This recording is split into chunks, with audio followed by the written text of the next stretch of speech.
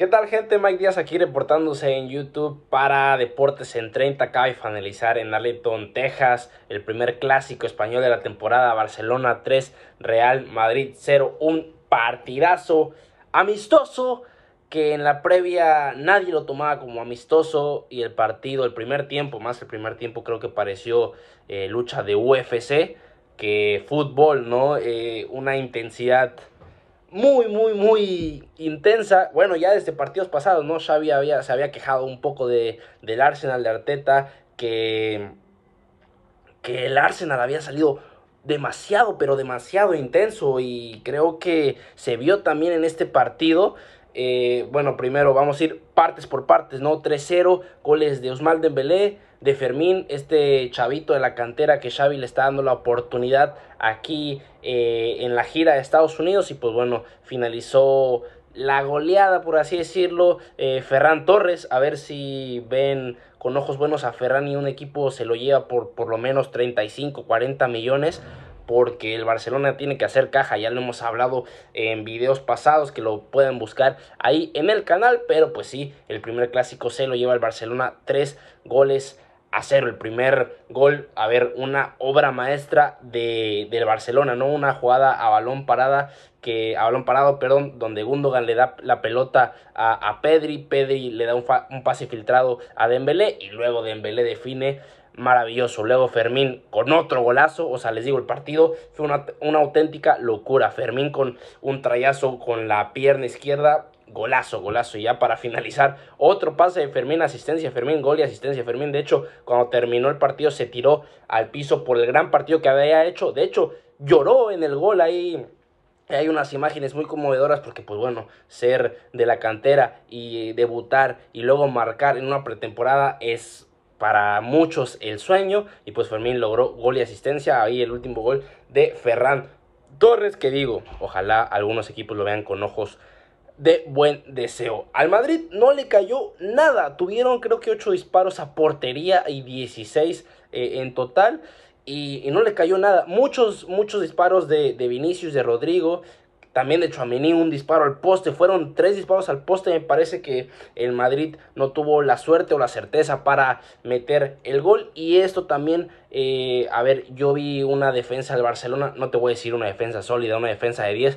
Porque la verdad, el primer tiempo del Real Madrid estuvo ataque, ataque, ataque y ataque. O sea, creo que fue el primer gol, de, el gol del Barcelona. Y luego el Barcelona se tiró atrás. El Real Madrid fue con todo, con artillería pesada a la portería de Ter Stegen que pues bueno, no pudo batir al alemán, pero es que ese primer tiempo el Real Madrid estaba prácticamente en cacha del Barcelona, ¿no? Algo poco, poco visto, por así decirlo, porque pues estos partidos son más de ida y vuelta, vuelta y ida, y ahorita el Real Madrid estaba dominando completamente al Barcelona, ¿no? Lo tenía eh, encerrado en su, en su portería, únicamente el Barça estaba defendiendo, y a ver, vamos a calificar la defensa del Barça. A mí personalmente me gustó porque yo creo que si fuera la defensa de, no sé, del 2019, 2020, 2021, oye, creo que al Barcelona le hubiera caído bastantes goles desde el primer tiempo, ¿no? Entonces ya les digo, por mala suerte o certeza o también la buena defensa del Barcelona, pues el primer tiempo se iba 1 a 0.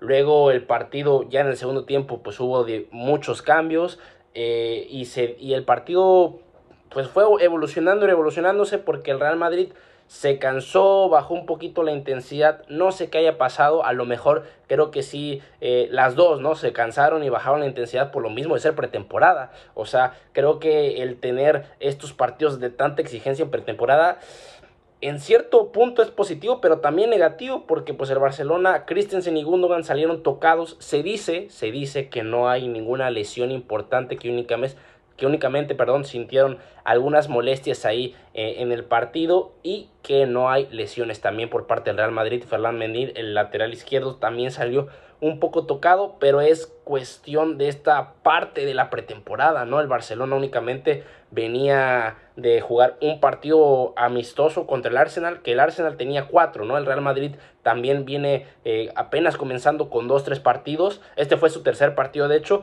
y claro, se ve, o sea, no están finos los jugadores, no hay tanta intensidad, no aguantan tanto, el rendimiento físicamente no es el mismo que cuando terminaron la temporada, entonces obviamente es normal Y, sí me espantó un poco, ¿no? Porque dije, tres lesionados en el primer tiempo, hay que tener ahí un poco de cuidado porque esta intensidad de esta pretemporada de Estados Unidos está siendo una auténtica locura. O sea, el Barcelona también que perdió uno o dos días por esa cuestión de, de la gastroenteritis que le dio a, a, los jugadores. Pues bueno, fue una pérdida, a ver, pérdida de tiempo por así decirlo, ¿no? Porque pues no, no pudieron entrenar dos, dos días por estas cuestiones médicas. Pero pues bueno, el Barcelona se lleva este primer clásico de pretemporada amistoso que todo el mundo dice es que los, los clásicos no son amistosos y obviamente no se es pretemporada, no se juega absolutamente nada, creo que el marcador, o sea, es intrascendente porque pues nada más es ganas un partido que no suma nada, no ganas ningún título, entonces si el Barça o el Madrid hubieran ganado, creo que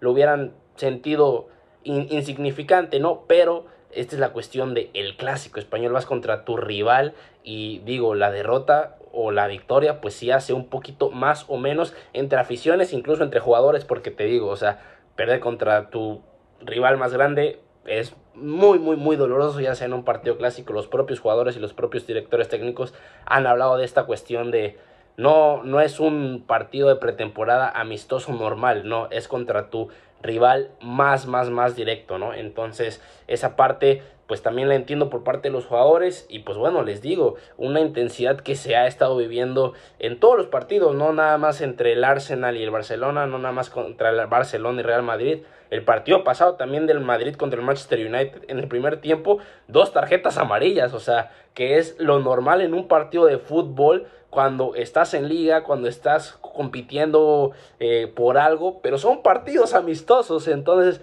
esta es la gran intensidad que estamos viendo eh, en esta pretemporada de Estados Unidos, en este tour de, de USA, pero pues bueno, el primer paso lo da, el primer golpe por así decirlo lo da el Barcelona con este 3 a 0. Yo nada más quería dar pues este pequeño repaso a lo que fue el partido y mi opinión eh, sobre algunos puntos importantes que fue la defensa de, del Barcelona y también pues esta, esta cuestión de que Vinicius y Rodrigo tiraron mucho portería, pero a lo que voy, no son delanteros, ¿no? O sea, creo que aquí eh, obviamente Vinicius y, y, y, Rodrigo son los más desequilibrantes, yo creo que de la Liga Española eh, hoy, hoy en día junto con Dembélé, pero pues sí les falta esa cuestión de, del, del apunte, ¿no? Por, pero pues obvias razones, no son delanteros, tampoco Dembélé tiene ese, ese tino, que pues bueno, hoy lo tuvo, ese trayazo de ese primer tiempo, les digo, una jugada muy, muy, muy bonita de, de Xavi, de una jugada prefabricada,